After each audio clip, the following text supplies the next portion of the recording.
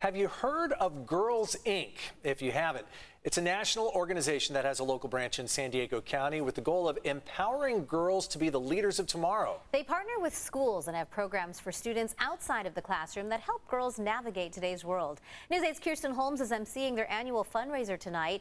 And as she found out, girls in the program say their world is a much better place because of Girls Inc.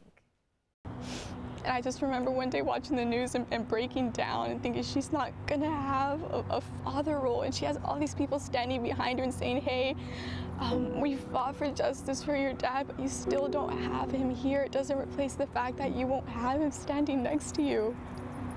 She, she was six, and I was thinking, who's going to explain to her what happened? Adelina Ramirez is a 14 year old freshman at San Diego High School. She says watching the racial turmoil unfold across the country was hard to see, but Girls Inc. gave her a place to talk through it. I don't think I've ever felt myself open up to a group of people that I've known for such a short amount of time. She's not alone. Priscilla Cora, the first generation American with roots in Sierra Leone, says they found a way to engage the students with fun and still handle the serious stuff.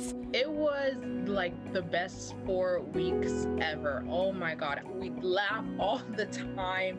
We dance, we tell jokes. It could go from being super funny to also discussing topics about from racism to sexism to like misogyny misogyny.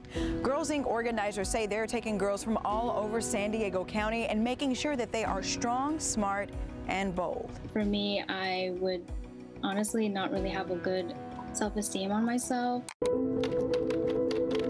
According to the National Center for Health Research, 13% of 12 to 17 year olds report social media usage leading to depression, and 32% report anxiety and mental illness is a concern related to online usage.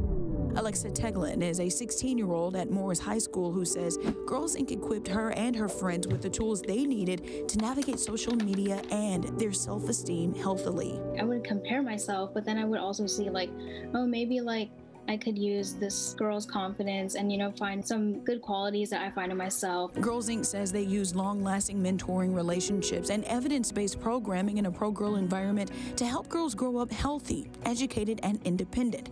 Adelina, Alexa, and Priscilla say. Throughout the year, I can already feel myself um, overcoming different challenges that Girls Inc. walked me through um, confidence, um, how to ask for help without feeling ashamed. Make girls feel welcome in this world because with like all of the things going on in the world, I feel like we all need a little bit encouragement. Girls Inc. is about bettering women so we can better the world.